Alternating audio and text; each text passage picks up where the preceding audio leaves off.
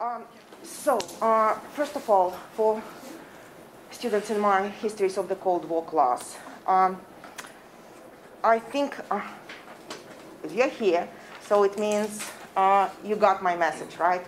Uh, and you saw my announcement that this week they're changing the syllabus. And I think that's the right thing to do because we're definitely witnessing history right now, right? Like since the beginning of this semester, we have been talking about the Cold War. And unfortunately, like last three days, I would say, uh, a lot of parallels with the Cold War time and history, right? And especially like when Putin ordered uh, this high level of uh, military forces, it means nuclear weapons, be ready. So I, I, started to think about the Cuban Missile Crisis more than ever, right? And how the world can be on the brink of the war so easily. And remember when we were talking about the Cuban Missile Crisis, right? And we talk about Dr. Strangelove and the possibility to start the war so easily, right? And it, it sounded like, yeah, it was in the past, right? We're looking at the history lessons. We're looking at the past and it's gone and we live in a different world.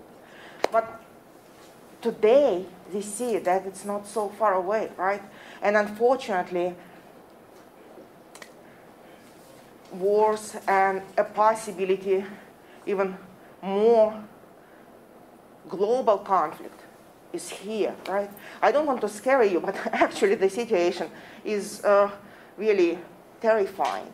Uh, and of course, I don't know how you cope with the news today, but uh, last week, I mean since last week, since the beginning of this uh, war, I have been just, you know, stuck in the political news trying to see what's going on.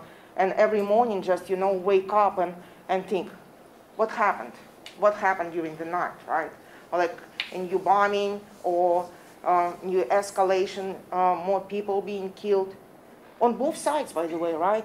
And, you know, we were supposed to have this class uh, with our uh, partner in this uh, class, High School of Economics in St. Petersburg, uh, Russian students there. So I called yesterday to professors there, Yelena Kochetkova and Kirill Chunikhin. So, and we talk about the situation. And they said, and I saw this on the Russian news, I mean, sort of the Russian news, because uh, you, I don't know if you know that, but all independent media are blocked in Russia now. Um, even uh, like on social media, like Facebook or uh, uh any platforms like that, uh, it's not possible uh, to discuss the war in Ukraine. Moreover, I can tell you, and it's really, I think it's shameful because even the word itself, war, is prohibited in Russia. It's banned from media. You cannot call this the war. It's called a special military operation in Ukraine. Uh, and it's, it's, so cynical uh, because the Russian authorities even say that uh, we wanted to bring peace to Ukraine. How dare, uh, how shameful. Uh, and, but, I mean, I'm really emotional about this because I think two reasons. First of all, um, I have a lot of friends and colleagues in Ukraine. Uh, and what I hear and what I see on the news, bombing of Kharkiv and Kiev, and people in Ukraine dying because of the Russian uh, military, and shells and rockets and tanks being there. And it's just impossible to think how it could happen, right? How the Russian troops could invade Ukraine to kill Ukrainian people. But also we can see more and more news um, that Putin expected kind of a blitzkrieg. And uh, Matthew just yesterday sent me this article. It was kind of uh, asleep in the Russian media. Uh, then the Russian uh, news platform, they prepared a news release uh, in two days, they were planning to post this, that Russia won Ukraine. Uh, and Kiev is under the Russian control. So it's just impossible to believe that it's happening right now. But also, because I'm a Russian historian, and all these years, uh, like here at IU or any other universities, I have been trying to say that Russia can be a partner, that Russia is not just an evil empire, uh, that we can collaborate, we can cooperate, we can, you know, live together. And remember when we discussed Khrushchev's peaceful coexistence, right? Uh, it can be more than just that, right? Uh, it can be real collaboration. And like after post, uh, or say, after Cold War, post-Cold War world, that it can be different. And maybe I was naive, but I had this hope that the world can be different. And now we live in this world. Um, and actually, Putin said that the post-Cold War world is over. And actually, he's right. It's over because we live in a different world now. And it, I don't think it won't be the same. Uh, it's changing right now, and the consequences of this war, definitely, but I'm pretty sure, will be long-lasting. And uh, it will impact the whole world, I mean, Europe, first of all, um, and Ukraine is a part of Europe. It will impact Russia as well. Um, I had some hope that maybe because uh, not all, and I want to say this, not all Russians support this war. Not all Russians support uh, Putin's claim or uh, believe in Putin's propaganda uh, about uh, this war. Thank you. Uh, and I am proud of Russian people, of the Russian people who tried last few days to oppose this war, uh, to protest this war, uh, to go to the streets of Moscow and St. Petersburg.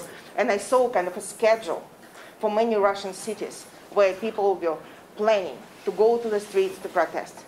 And now I don't know how many exactly, but last news I saw more than 6,000 people were arrested because of these anti-war protests in Russia. Uh, but that's a shame. And that's, I'm ashamed of Russia in this case uh, because of what the Putin's government did. That's a war crime. And I do hope that who started this war will be responsible for this and will take this responsibility eventually in some way or another. We have another seat here. Or here, you can go here.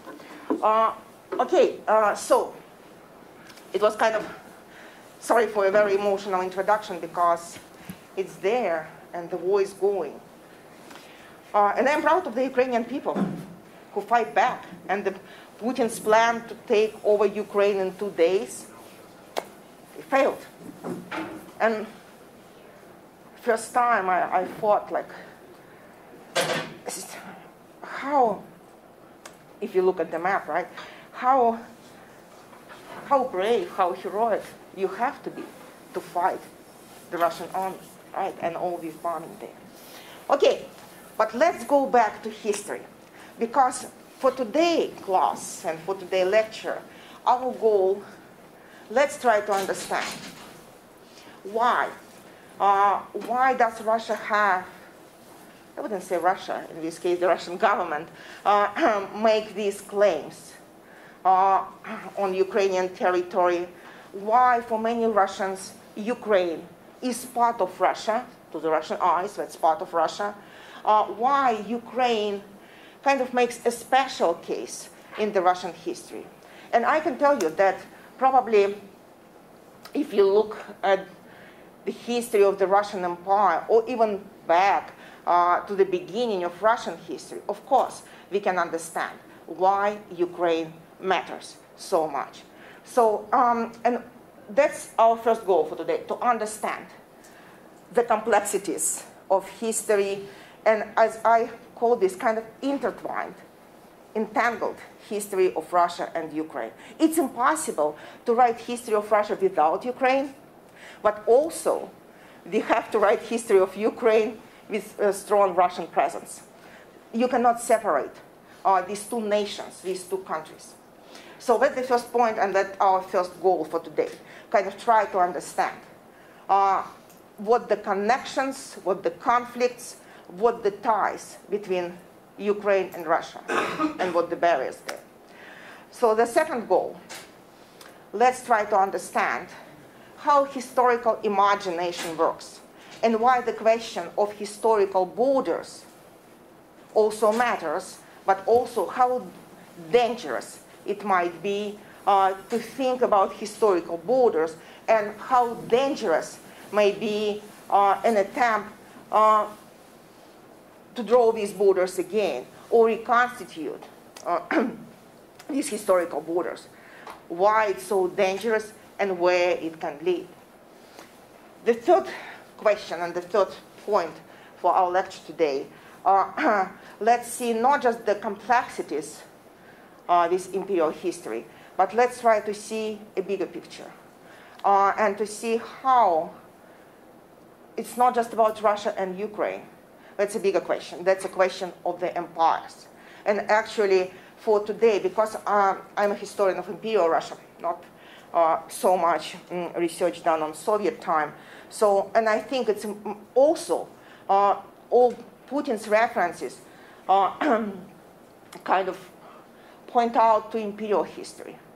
Uh, it's a ground for this historical imagination, speaking not just about the Soviet past, but about imperial past, about the Russian Empire, and also even see the Soviet Union uh, in these imperial terms.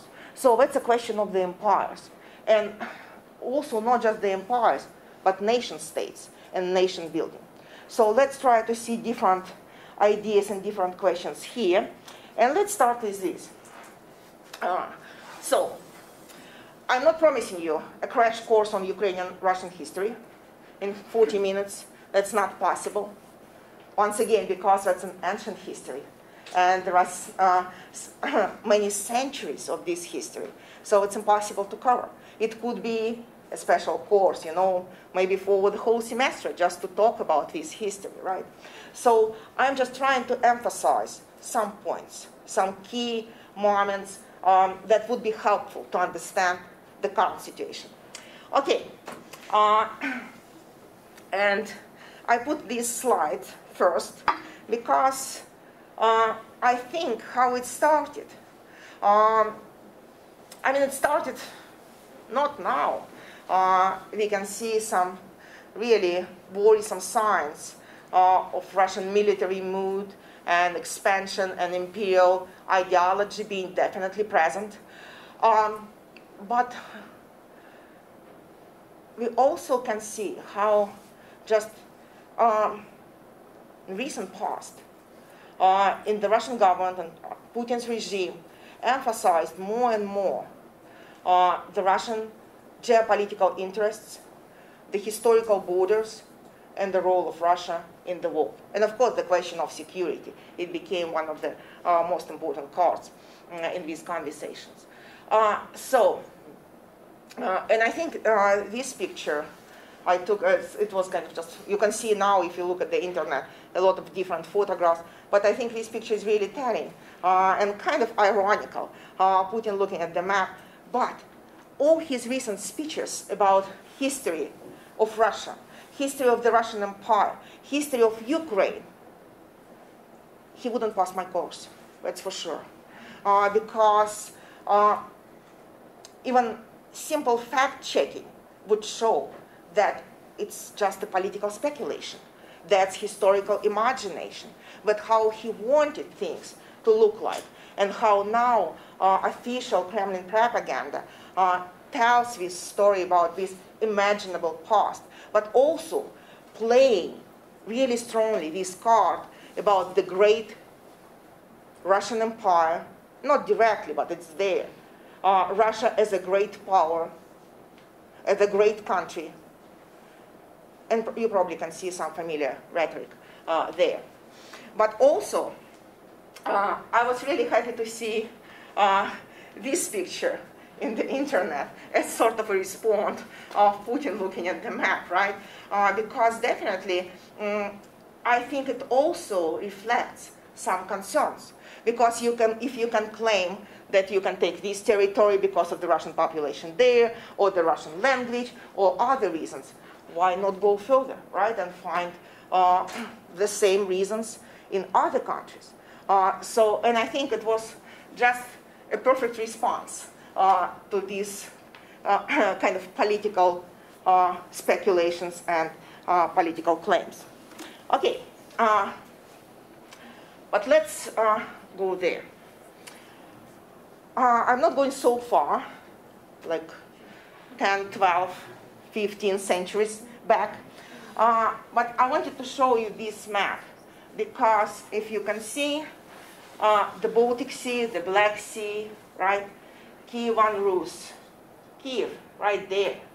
Uh, so there, Russian history began. Uh, and uh, if you read any Russian history textbook, Russian history begins there, in Kievan Rus. And actually, it explains a lot because from the beginning, in you know, school education, any history lessons, uh, for the Russian people, uh, Kiev, that kind of cradle of the Russian civilization, that the beginning of the Russian history. And because of this idea, it's pretty common, you know, to see this territory as Russia, at the beginning of Russia, cradle of Russia. So, uh, and you can see, uh, like, uh, in all historical maps, this emphasis on Kiev and ancient Rus, it's there. And the term Rus itself, it's originated there. So that's just one point why Kiev is so important, why this territory is so symbolic, and why it speaks so loudly uh, to the Russians in this case. Okay, and very quickly, uh, I just wanted to emphasize, if you look at the history of Russia, that's a history, as famous Russian historian Vasily Kluchevsky said in the late 19th century, uh, that's a history of colonization. That's a history of territorial growth. That's a history of expansion. So I thought it would be really helpful just to look at the maps and see how Russia was expanding, growing, how this Russian empire was forming. So, and you can see here, and this period of time is really important because if you look the 16th the 17th and the 18th century, three centuries, really crucial for forming, for growing, for defining the Russian Empire. Uh, so, and if you look here, uh, see, um, let's look, this bright yellow, right? Uh, you can see, uh, it's not Kiev as a point here anymore, right? Uh, uh, and we can see this territory as a beginning, right? And in the 16th century, this huge expansion through the 17th century, eastbound, right? Uh, but not just eastbound, we can see some movements and, and expansion and colonizing territories here to westbound and to the south. So, but you can see how rapidly, I mean, relatively rapidly, right? Given like three centuries, but in terms of Russian history, it's quite rapidly. Uh, the Russian Empire uh, was uh, growing. Uh, and then, very simple map. I just was trying to point out major steps here. so you can see also these different colors, so and different acquisitions. And also, if you look at this map, you can find Kiev here, yellow color here, right? But also, it's really important, this movement to the Black Sea right? And you can see how the Russian Empire formed in its borders are going, expanding, and trying to get access to the Baltic Sea, to the Black Sea, to the Pacific Ocean, right? Uh, but this area, and you can see probably familiar geo names here, like you can see Warsaw and think about Poland, right? You can see Kiev and think about Ukraine. Uh, you can see even Finland here. So, uh, grow, growing expanding, uh, conquering, um, bringing more territory. So we can see this uh, imperial uh, growth.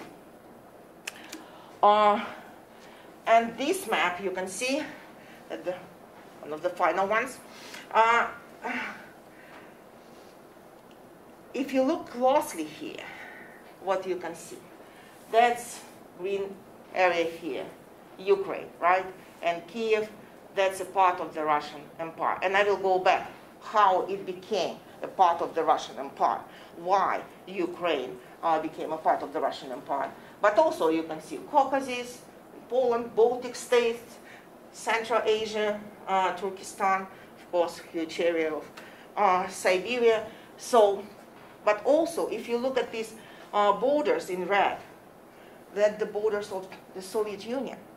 And you can see that after the collapse of the Russian Empire, uh, after World War I, when many empires also collapsed, right? It was kind of a common thing. Uh, but then the Soviet Union mostly reconstituted itself. Very similar borders. You can see, except Poland, Baltic states. Baltic states were uh, included let's say, in the Soviet Union right before World War II, and it was uh, Stalin's deal with Hitler about that, right? Uh, but you can see how uh, this area became also a part of the Soviet Union, and Ukraine became, first of all, one of the first uh, Soviet national republics uh, when the Soviet Union was formed in 1922, but then one of the 15 uh, Soviet republics in a long history of the Soviet Union. And then the Soviet Union collapsed in 1991, right? And now Ukraine is so-called, I don't like this word, post-Soviet, because it sounds really colonial as well. When you measure all history before Soviet, post-Soviet, uh, Ukraine an independent state after the collapse of the Soviet Union. But it doesn't mean that history of Ukraine began after the collapse of the Soviet Union or after the collapse of the Russian Empire. It began much, much earlier. And as Ukrainian uh, historians often say, it began even earlier than the Russian history. Uh, so uh, let's uh, see. And, uh, you know, I love historical maps. They can be another way to manipulate, right? You can draw some boundaries, you can draw some political borders, you can name some places, places and it might be a political means a political weapons as well, right?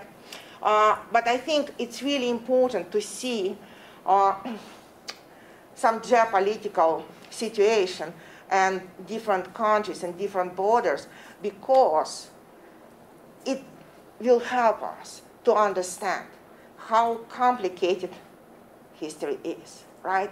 Uh, and also, I don't know how many people uh, in the United States could find Ukraine on the map before this war, right? Um, maybe many, uh, maybe not so many, uh, but definitely uh, find some, looking at the map is very instructive. Uh, okay, and I will go back to this map because just for now, just to emphasize, that's a map you can see from the 18th century, kind of showing the situation, geopolitical situation in the 18th century. And that's one of the important points here. So you can see the Russian Empire here, right? Uh, you can see Polish-Lithuanian Commonwealth. And that's really important because history of Ukraine is really closely tied to the history of Polish-Lithuanian Commonwealth uh, at this time. You can also see Habsburg Empire here, right? You can see Swedish Empire here, Sweden, um, and Ottoman Empire. And that's really important uh, because it's not just about, once again, uh, you can see the place of Ukraine here, right? Uh, that's not a nation state at this time, but that's another story, right? A long history of nation building and how uh, nation states, in some cases, emerging from the empires or building on different grounds. And it might be a different time, right, and, and different uh, circumstances. Uh, so, but it's really important to see, uh, because if you look at the map, why this territory was, has been really contested all time. Why it has been so important geopolitically uh, to control this territory, to use this territory, and why so uh, many times this territory became a war ground. So looking at the map, it can, once again, it can help us to understand why Ukraine matters for Russia, why, for example, uh, I think that's a good example, not directly connected with the imperial history, but kind of showing this imperial legacy this imperial ideology in the Soviet time. One example, not connected with the 18th century, but connected why Ukraine is so important geopolitically. After World War I and the Russian Revolution of 1917, then Bolsheviks Russia, new socialist Russia, uh, tried to end the war and quit the war. Uh, and the Treaty of Brest-Litovsk was signed. And the head of the Soviet delegation there was Leo Trotsky. And Trotsky said, we cannot lose Ukraine, because without Ukraine, Russia will be a third-rate power. See, even at this time, this idea that Russia without Ukraine cannot keep its great status, its role in the world. Third-rate power without Ukraine. So, and actually, it shows really clearly why Russia was trying to keep Ukraine at any means.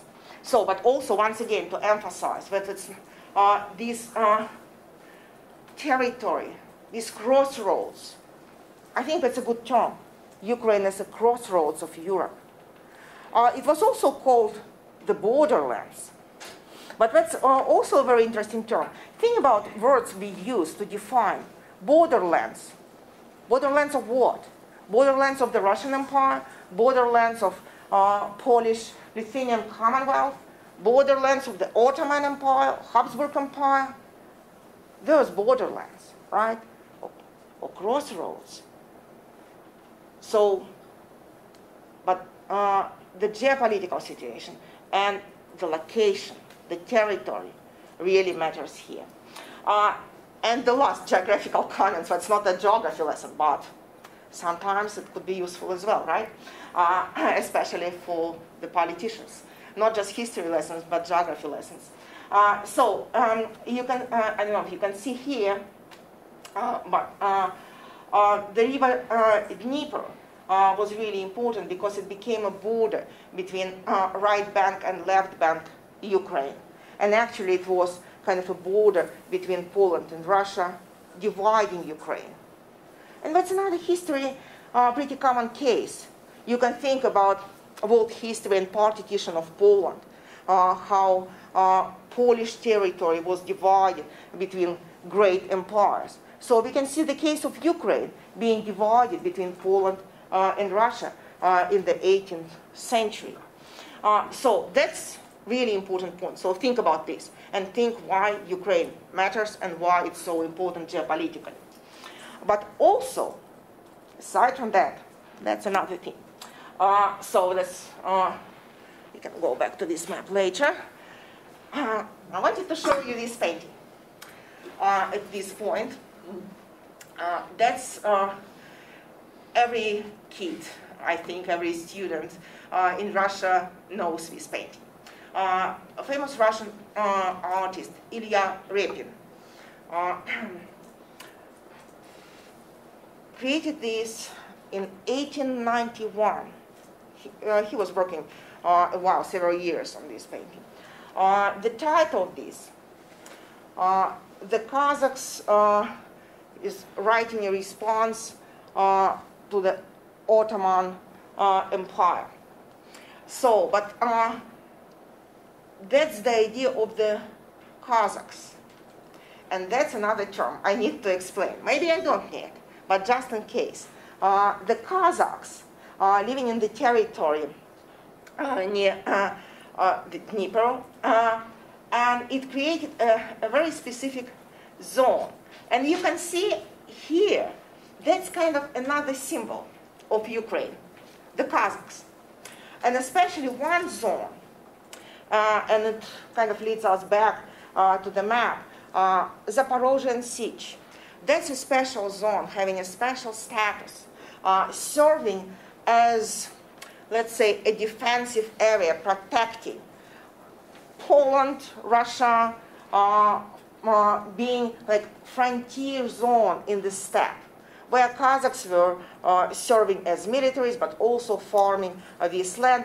But the most important kind of symbolic connotation, of course, aside from all these practical terms as being kind of defensive area in this frontier steppe zone, it was a land of freedom because the Cossacks, they denied any, uh, you know, restrictions, taxes, conscriptions. Uh, they elected their own uh, leaders, hetman. Uh, you can see some kind of like headman, but hetman, uh, hetmanate uh, a uh, definition of the state uh, in Ukraine. So, and you can see here kind of this feeling of freedom and kind of joking and laughing and just you don't care. And it's a, a, a whole story about how many jokes, um, even not a proper one, they put in this letter trying to respond that they're not going. Um, you know, to subjugate to anyone. Uh, and that's another idea of Ukraine. Zaporozhian Sich, freedom, or in Russian that's voля, that's the Russian word uh, meaning freedom, no restrictions. And actually many Russian serfs, thinking about American slaves, kind of, you know, we talk about this in class, um, many Russian serfs trying to flee to this area because uh, it, it, was an idea that if they escape there, they will become free as well. So this idea of freedom is really important. Uh, so uh, we can see uh, the Cossack as a sort of free agents uh, and being committed to idea of some egalitarian ideas, right? Uh, and also very important that it's kind of an opposite the idea of the Moscow state, right? We can see this like a different political entity uh, uh, created there. But slowly, but surely, uh, because of the uh, political movements and the growing expansion, uh, even this area, and we can go uh, back to the map, you can see Zaporozhian lands there. so Kharkiv, now you can see Kharkiv on the map because of the political news, right? So Zaporizhian land, Zaporizhian Sich, uh, became a part of the Russian Empire. The Cossacks became the ordinary subjects of the Russian Tsars, but still enjoyed some privileges, uh, unlike the Russian serfs uh, in the Russian uh, Empire. So having kind of a separate deal inside the Russian Empire. Uh, and uh, still being really important geopolitically in the history of the Russian Empire. But also, mm, what's important, and go back here. Uh, one more history fact, and I think you need to know that. Uh, if you look at this monument, and think again about history and commemoration and how we uh, look at history through monuments, right? And how many times monuments um, are getting more and more political significance and became kind of a subject of political disputes, right? Think about Confederation and Confederates monument in the United States. But, um, you know, just recently I realized, I look at this uh, monument and thought, it looks pretty similar to the monument of Peter the Great in St. Petersburg.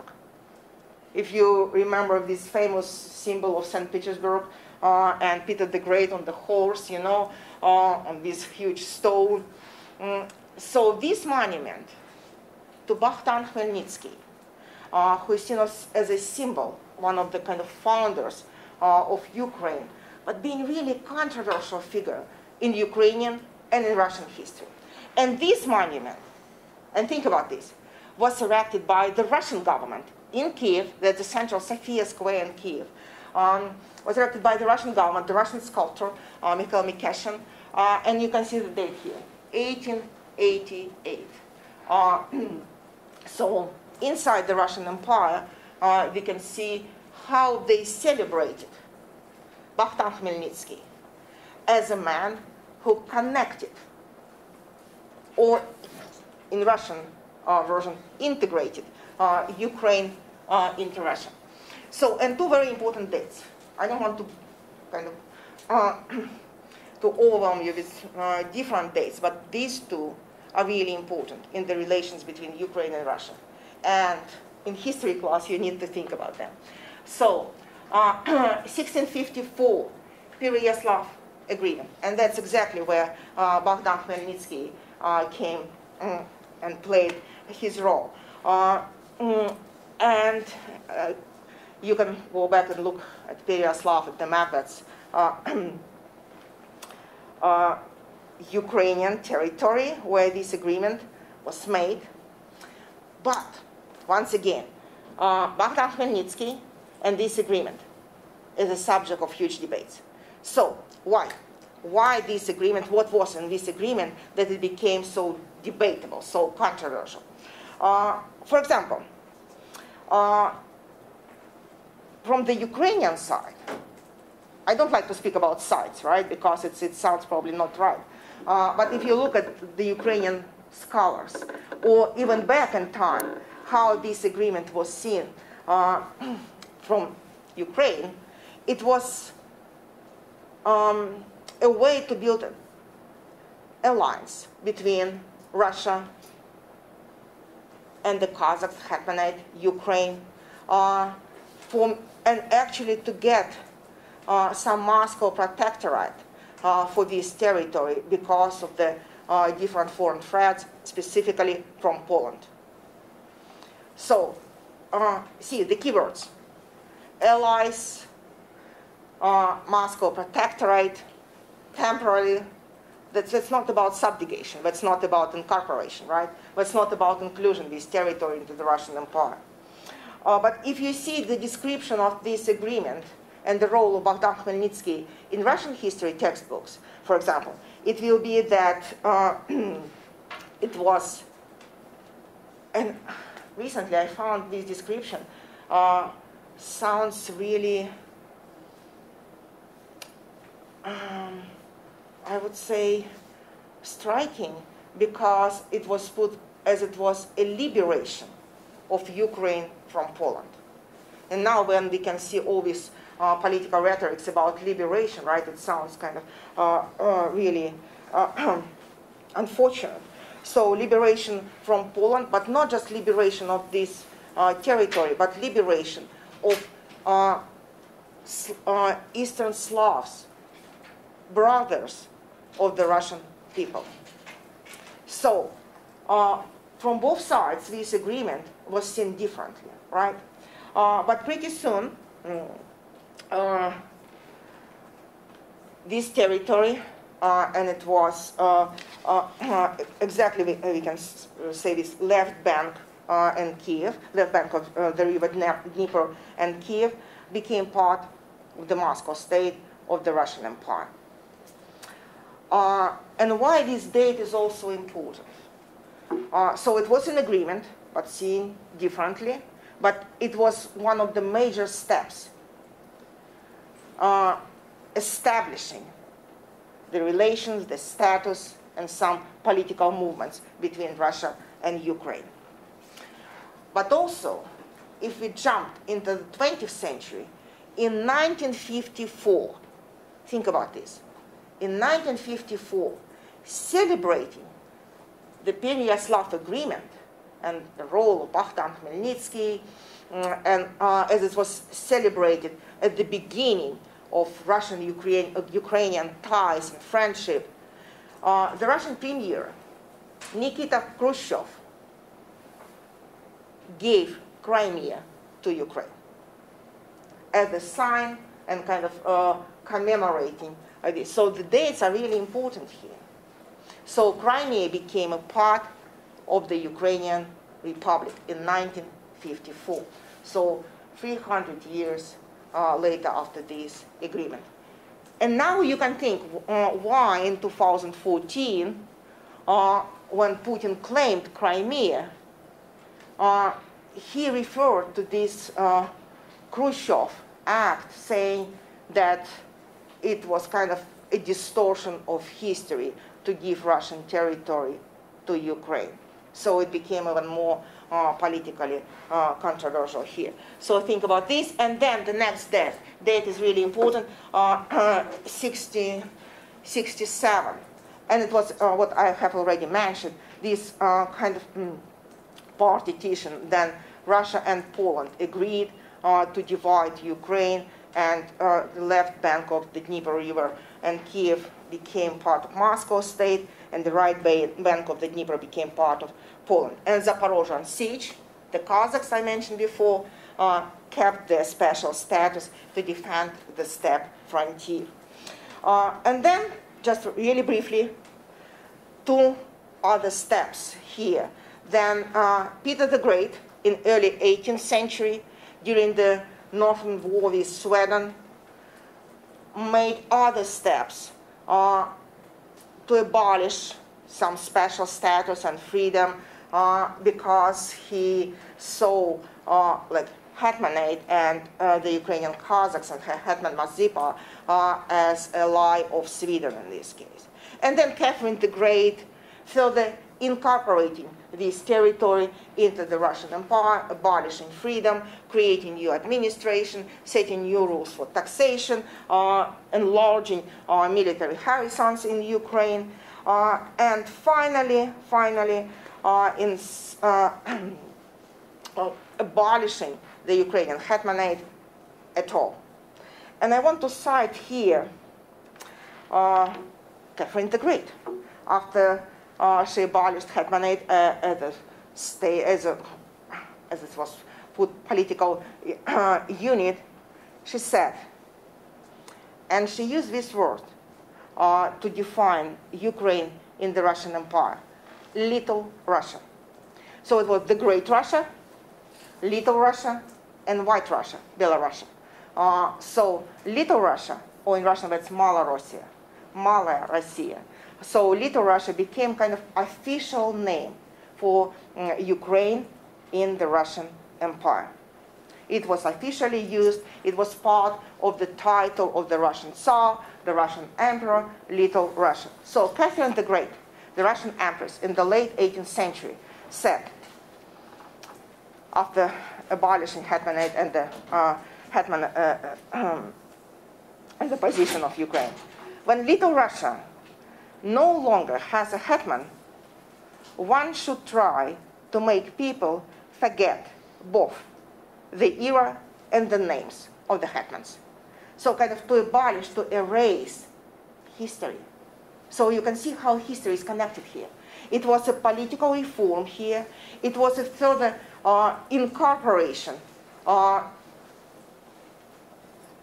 of Ukraine into the Russian Empire, but we also can see how history uh, played a role here. But uh, speaking of, uh, I don't want just to state how the Russian Empire conquered territory, because in this case, if you just just telling this story, it means how Russia uh, made Ukraine part, a part of the empire. I want to emphasize another side here how Ukraine impacted Russia. Because it's not just about the Russian impact on Ukraine, right? Not just all these territorial changes, administrative, political reforms, but it's also about impact of Ukraine on Russia. Because if you don't talk about that, the kind of, uh, you know, we will be repeating the same imperial narrative, and we don't want to. Uh, so, speaking of Ukrainian impact, I would say, first of all, and I want to emphasize this, it was a huge cultural impact. Because in the 17th century, for example, Kiev Mohyla Academy, uh, one of the leading educational cultural institutions uh, in Ukraine, became a source for scholars, uh, for politicians, uh, for culture bearers in Russia.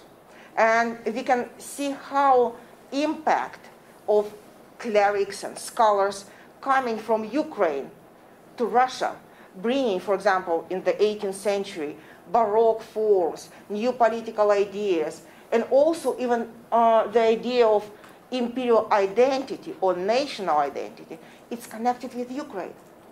And we can just name uh, scholars being in Moscow, being in Kiev, uh, and developing these new ideas and becoming a huge uh, cultural and educational uh, segment in the Russian Empire. Uh, and in some history books, uh, we can find it's kind of very interesting hidden part there, like hidden pages. We can find how Ukrainian scholars, mostly Ukrainian clerics uh, in the 18th century, came to define the Russian culture. And you can see this kind of a historical a cultural twist, right? That's not just about Russian culture defining uh, the territory of Ukraine, but Ukrainian culture defining Russian culture, impacting, influencing the Russian culture. Uh, and of course, not just, uh, you know, through like education, uh, political ideas, literature, music, architecture. Uh, so we can see a lot of ways uh, to bring this cultural influence. And one more quote I want to bring here, uh, and actually I highly recommend. Um, I will make a list of books on Ukrainian history for you guys, just uh, to post on the uh, Canvas site so you can read more. Um, Sergei Plokhy, one of the leading his, historians Ukrainian historians, historians in Harvard. Uh, and I think this quote is really important and really telling. Uh, he said, the entanglement of the concept of nationality and imperial statehood that took place during the encounter between Kievan and Muscovite elites appears to have been crucial for the formation of Russian imperial identity and additionally for the invention of Russia. So, and you can see how the Ukraine, what means, how the Ukrainian scholars contributed uh, to the um, invention of Russia. It means the idea of Russia, the Russian imperial identity, uh, the Russian um, role in the world, and how, uh, ironically, paradoxically, right, we can see uh, the Ukrainian influence uh, there. Uh, and also, uh, what I want to emphasize, when we see further the relations between Ukraine and Russia, of course, they were evolving. Even being part, but don't forget that part of Ukraine was uh, uh, part of Poland. Uh, Poland, you can think about Galicia as a part of Austro-Hungarian Empire, part mm, of the Russian Empire. So it's really complicated and contest, once again, contested territory. Uh, but in the 19th century, Ukraine became really important for the modernization of Russian Empire. And that's another aspect. Because Ukraine, of course, it was a breadbasket, right? And we know that. And Ukraine suffered for that uh, in the 20th century, going through uh, to just catastrophic famines, especially Holodomor uh, in the 19, uh, early 1930s, Stalin's uh, crime, uh, but also you know, one of the most tragic history um, pages in the Ukrainian history. So the breadbasket of the Russian Empire, Ukraine. Also, it became a very important source of natural resources because in the late 19th century, early 20th century, we can see coal mining in Ukraine. Uh, we can see uh, sugar plantation in Ukraine. We can see very intensive road, uh, railroad building in Ukraine. Um, and of course, that's not just the Russian capital uh, investing um, in these enterprises, uh, modernizing the empire, creating new economic great power. But also, uh, we can see a lot of foreign capital because Russia didn't have enough um, to invest in this new economic project to industrialize, to modernize the empire uh, in the late 19th, early 20th century. Uh, so, and for example, now this really, uh, uh the area uh, in the focus of the attention of the whole world, Donbass area, and now we call, of course, we know about the Donbass war, right? And this area now familiar to many people. So Donbass became one of the most prominent sites for coal mining uh, and um, one of the, the mostly rapidly developed, uh, economically developed uh, region in the Russian Empire. Uh, but also, history of Ukraine didn't stop even after the collapse of the Russian Empire. And we can see how World War I impacted this territory. Uh, and how uh, after the Russian Revolution, Ukraine, again going back to the map, became part of the Soviet Empire of nations. So that's uh, what I tried to emphasize, this kind of complicated history. Uh, and I put a link here. That's one of the uh, really respectful historians of uh, the Soviet uh, Union, uh, Victoria Smolkin. She is teaching in Wesleyan. Um, and uh, just a, a, really short pause, but I like what she put there as a title. Speaking of the Putin's claim, and that's his another speech. See how often he has used history, uh, because he claimed in his uh, recent speech that the Bolsheviks gave this territory to Ukraine, now current territory, and created Ukraine as a state. And I think that's a perfect response from Victoria Smolkin. Fantasy is not history. But you can see how history is often used to manipulate, to speculate. Uh, and being a historian, I can just say that we need history lessons. Not uh, because I think it can create a kind of a barrier. It's, in this case, it's not so easy to manipulate the public opinion. And once again, uh, for many Russians, what's going on in Ukraine now, it's also a tragedy. But unfortunately, for many Russians, it's a special operation because they see Ukraine as a part of Russia. Okay, I'm stopping here. Uh, first time. I'm right on time uh, with lecturing. Okay, now, uh, questions. And I have some questions for you also. But let's start with your questions. Questions? Mm -hmm. What was the Donbass's significance during uh, the Soviet period? Did it carry that same sort of weight that it kind of does today as a geopolitical barrier between Ukraine and Russia? Yeah, because that's eastern Ukraine. Of course, you can see, you know, go back to the map, you can see how, uh, that's uh, at the border, right? That's kind of once again, I don't like this word, uh, borderland, right? But we can see how important this zone geopolitically, but also that's a mining region. Uh, the major reaches of coal there. Uh, and uh, of course, also you can see uh, natural resources for the Russian economy. That's a strategic thing, right? And now when we talk about different economic sanctions in Russia, that's first of all, right, you would think about Russian gas and like Nord Stream 2 uh, and different way to export Russian uh, gas and oil, right, uh, to other countries because that's a major source of the Russian federal budget, of the Russian economy. It's a staple.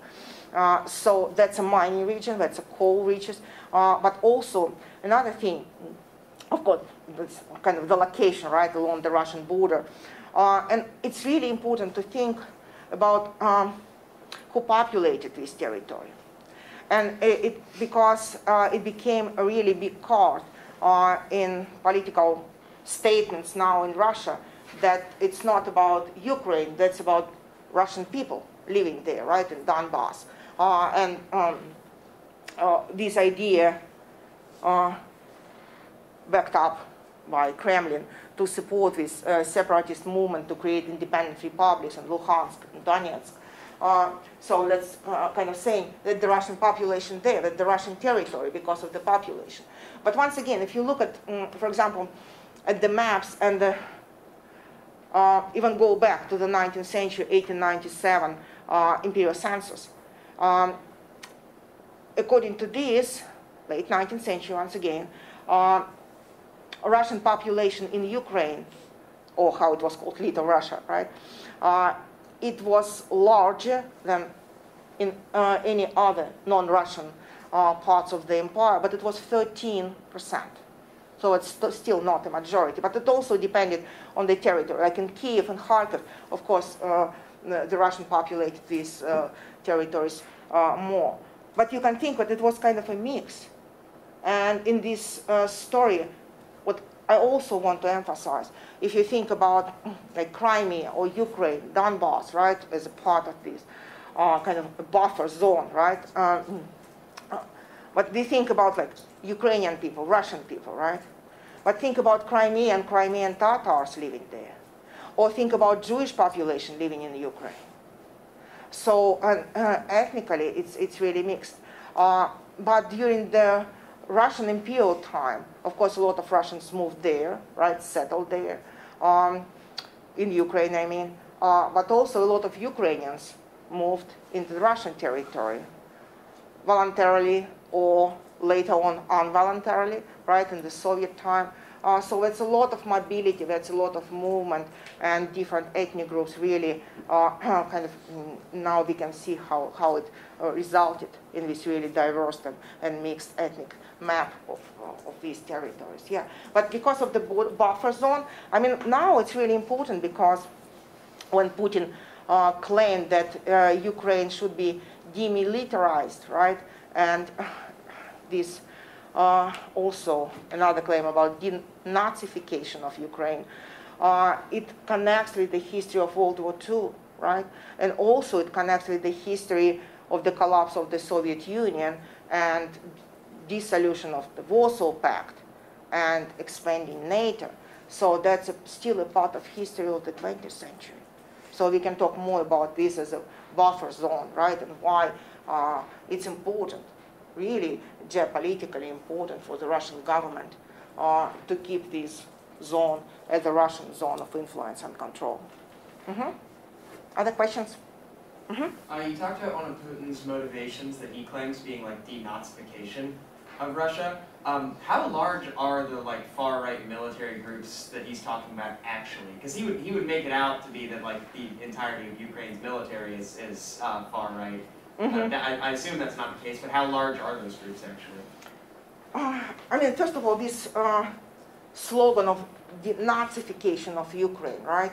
Uh, I just cannot stand this uh, because, uh, I mean, first of all, if you go back to World War II, right, uh, and you see this territory of Ukraine, like once again, being really diverse like Western Ukraine, Eastern Ukraine. It's still there, this kind of division, right? Uh, internal division of that, or Galicia, or Bukovina. Uh, so, and for western part of Ukraine, and we can compare with, for example, the Baltic states. Uh, um, I would say it was uh, some, uh, there were some hopes that the uh, Germans coming there can liberate them from the Soviet rule, from the Soviet regime, from the Stalin's regime, right? So there were some hopes about that. Uh, and uh, I wouldn't deny that uh, during uh, World War II, uh, there were really strong anti-Russian, anti-Soviet, or let's say anti-communists uh, movements inside Ukraine. But Ukraine suffered so much during World War II. And for example, if you watch um, a documentary filmed um, by Sergei Loznitsa, um, a Ukrainian filmmaker based now in Germany, about uh, it's called Babi Yar. That's one of the uh, probably most um, I don't know how to even to, to describe this, right? Uh, that's not just mass killing, mass murder. That's, uh, uh, I mean, you can compare with Holocaust, definitely in the same terms, but in Ukraine, right? Uh, because of the Jewish population there, right? Uh, and it was really strong uh, guerrilla movement against Nazis in Ukraine. And I think Natalia Spilova is going to uh, give a lecture on memory uh, because what's a great book being published last year about war memory in Ukraine, Russia, and Belarus. Belarus. uh, and how this memory of war actually impacting the situation now. But I wouldn't even talk about the Nazification of Ukraine. Of course, I mean, every country now, unfortunately, has some far-right military groups, but that's, that's not a reason, that's not the case, that's not an excuse, right? Uh, and also trying to picture the Ukrainian government as, how Putin said in his uh, last remark, uh, he described the Ukrainian government uh, and Zelensky, of course, uh, as a gang of drug addicts and Nazi. Isn't Zelensky Jewish? Yes. Yes. And I can just, you know, respect Zelensky, how he has been acting, and uh, I mean, I think he's just a decent person, right? And let's, let's, yeah. But you can see that this claim, it actually, that's uh, a slogan about denazification. Uh, it's appeal to the Russian people because memory of World War II, and remember we discussed this in class, it's so significant, it's so crucial for the current state identity. Memory of World War, World War II kind of constituted this identity. So, and this appeal, that's for that, kind of to justify this invasion, this war. Mhm. It's worth noting about Zelensky that there were several Ukrainians who've come out to make statements. They did not vote for him, but were quite happy he's now in charge. And they, either way this ends, he'll end up a hero to a lot of people, as there's videos of him out with people fighting in Kiev on the front lines. Yeah, I think so. Yeah, and I can say, yeah, yeah, I can admit that. Uh, of course, I, I, couldn't vote, right? I, am not a Ukrainian citizen, but I was kind of, you know, skeptical, thinking about uh, Zelensky coming to politics and thinking, oh, that's another kind of populist move there. But now, what I can see is definitely he deserves respect, and I, I think now you're totally right that even people who didn't vote for him now see that it was the right decision, right? And he didn't uh, flee Ukraine, even despite that he had these offers. Yanukovych, who was pro-Kremlin, just fled to Russia after Maidan. Where he's wearing an armor plate with a gun in his hands, fighting alongside soldiers in front of him.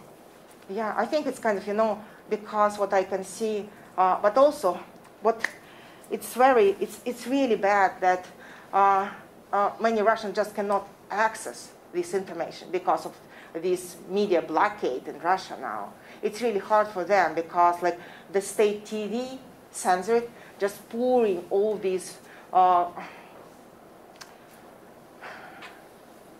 I would say, I don't know how to call this, just I would say lies uh, and propaganda thing.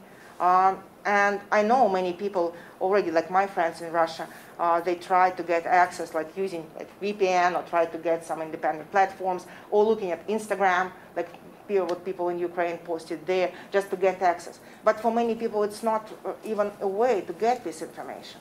So and you can see how this, in, uh, even you know, the area of information, how it's important, right? How how important to talk about this, how important uh, to spread uh, the information, not to stay silent what's going on because otherwise and i think it's, it's the right position um, when people in russia for example stay, say if you just stay silent it means we support this right? But it's really hard to oppose too. So think about this. When you live in an authoritarian state it's really hard to protest